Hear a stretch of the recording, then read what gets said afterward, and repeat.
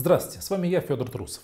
Редакция «Момент истины» готовит новую программу расследования о деятельности федеральной сетевой компании в Ленинградской области. Сегодня о деятельности федеральной сетевой компании мы поговорим с корреспондентом «Момент истины» Евгением Гнеушевым, только что вернувшимся из Санкт-Петербурга. Евгений, здравствуйте. Здравствуйте. Наш новый фильм расследования посвящен деятельности федеральной сетевой компании в Ленинградской области. Вот вы задумывались когда-нибудь, Федор, почему в нашей стране так сильно востребовано среди молодежи разные добывающие отрасли. Нефть, газ, электричество. Что туда тянет людей? Интересная работа, высокая зарплата. А может быть теневые доходы, которые там можно получать, используя разные схемы? Сергей Ливкин. Молодой, улыбчивый, веселый парень. Обладатель премии главы Саяногорска и звания «Гордость Хакасии». В энергетике Сергей человек не случайный. Пошел по стопам отца. И уже в 30 лет стал старшим мастером подстанции, означенная районная. А начинал он свой трудовой путь простым дежурным инженером на подстанции «Алюминиевая».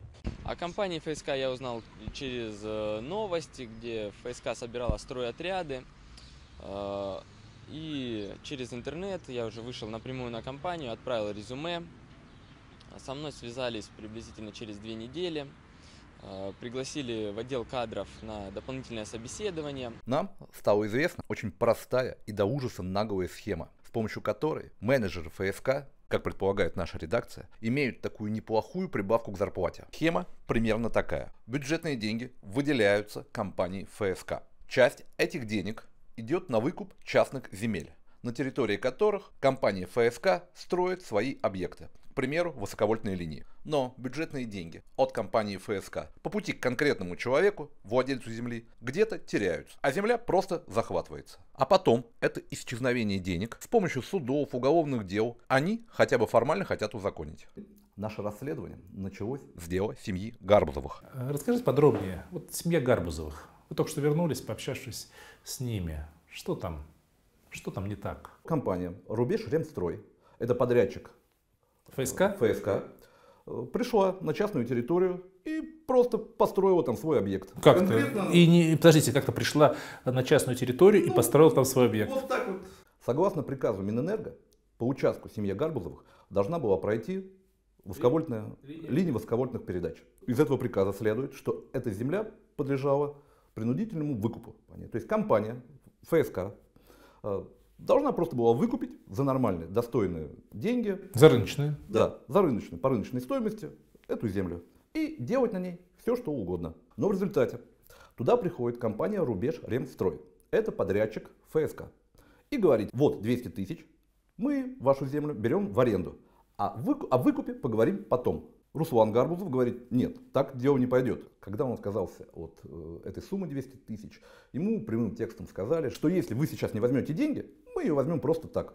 Они уже тогда начали разговаривать на языке силы, вот, э, на языке силы и угроз.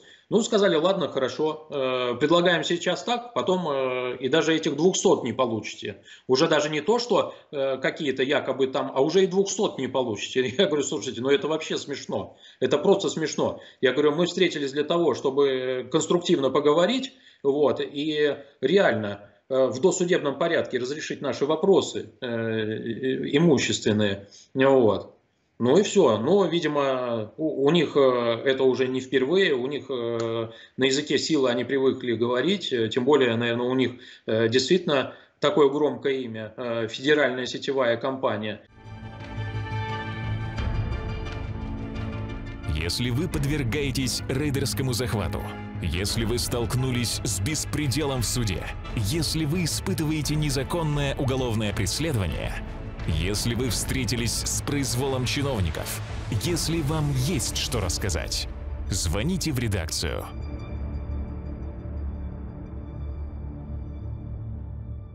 Очевидный вопрос, а как же получили разрешение на строительство? Ведь при выдаче разрешения на строительство ты должен представить разреш... документы, подтверждающие твои права на земельный участок. И это вопрос к Министерству строительства.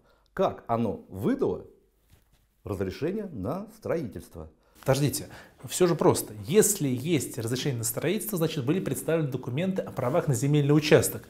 Семья Гарбузова что говорит? Они подписывали какие-либо документы нет, в отношении нет, с ФСК нет. или с подрядчиками? Ничего не подписывали. Они ничего никому строить на своем участке не разрешали. Точка судебных процессах поставлена? Нет. Мало того, что судебные процессы не закончились, в июле этого года было возбуждено уголовное дело по 159 статье. То есть мошенничество? Да. Кто мошенник? Пока что дело это заведено на неустановленных лиц.